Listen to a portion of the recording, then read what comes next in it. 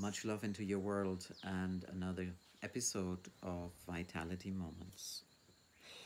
Now, if you have been with us here on Vitality Moments, you have had already some experience, and for some of you, it was very nice to expand your own horizon of vitality. So, today, what comes to me is uh, actually about how vital do you really feel? What is your vitality in your body, in your emotions, in your mind, in your connection with spirit and self, as in a higher self.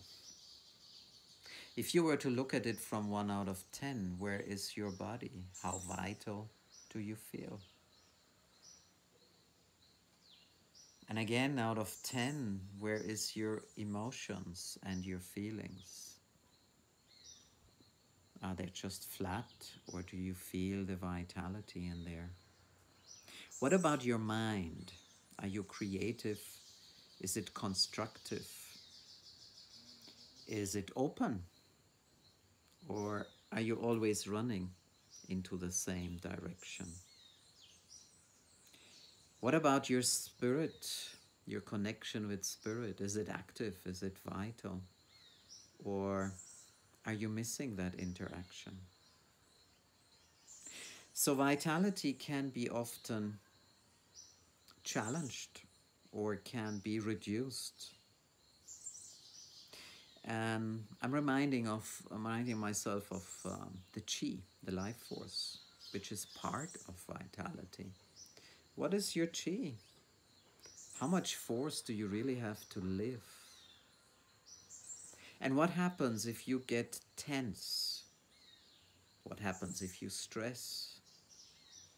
What happens if you feel the effects of fear that is maybe in the air around you?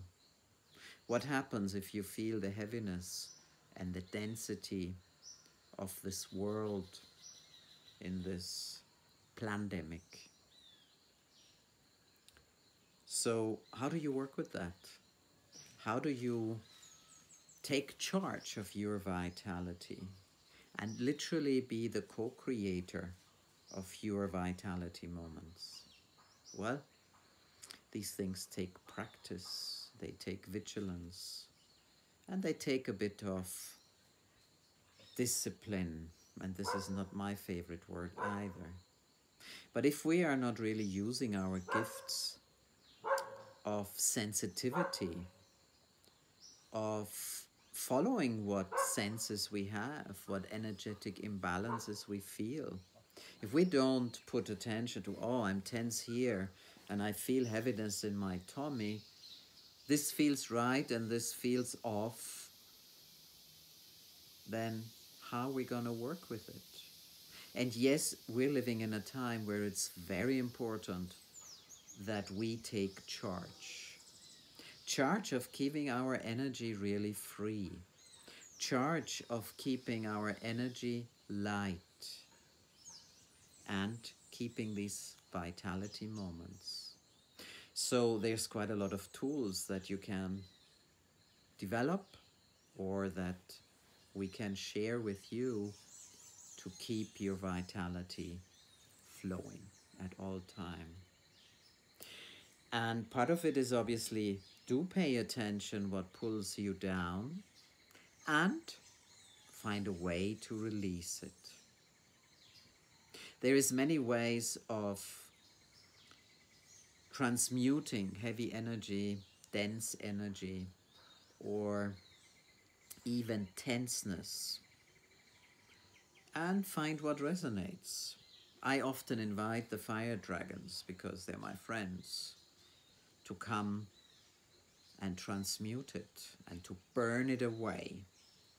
You might like the violet flame, doing the same thing to transmute the tenseness, the density, and the heaviness. Vitality cannot thrive in heaviness, density, or tenseness. So it's really up to us how we choose these vital moments how we choose to connect, how we choose to filter and shield ourselves so that our light, our vitality, our chi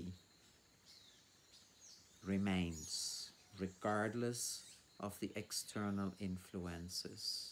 And not only for the self, but for everything that's around us, connecting to the earth and the air, and the water and the fire.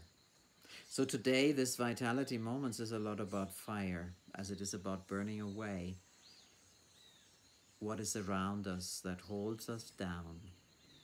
It is time to be free.